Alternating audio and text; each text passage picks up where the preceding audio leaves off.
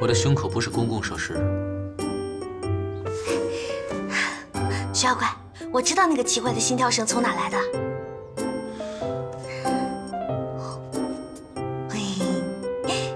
这里，好像只要稍微的距离远一点，就会不安的跳个不停。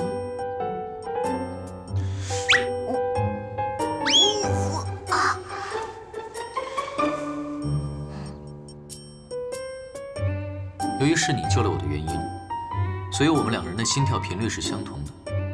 只要靠近就能感知对方的存在，太近或者太远的话，就感受不到了。你对我也这样吗？只要你情绪波动大一些，无论多远，我都能感受得到。难道这就是电影中传说的心电感应？我更愿意称之为相互牵制的作用。那范围呢？不清楚。其实我也是第一次碰到这样的情况。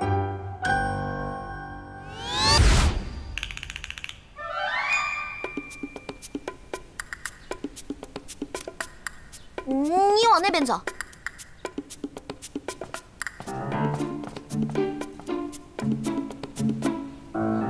听不到，继续走。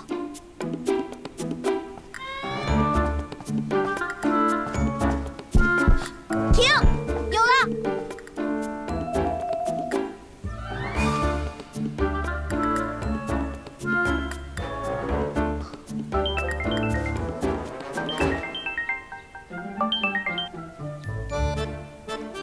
大概一百米就能听到你的心跳了。你再继续走，看看多远听不到。好。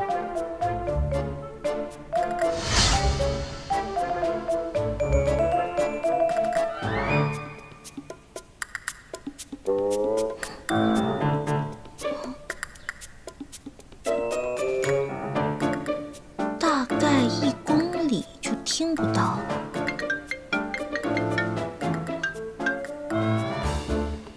已经很远了。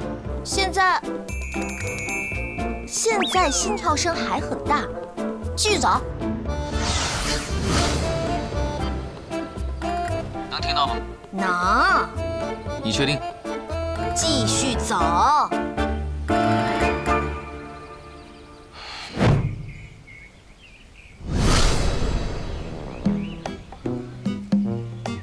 现在呢？能听到吗？喂！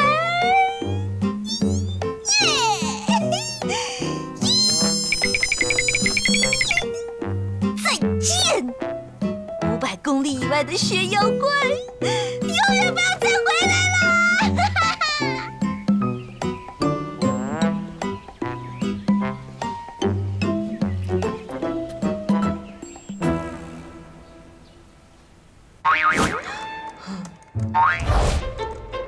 回来了，你的速度也太慢了。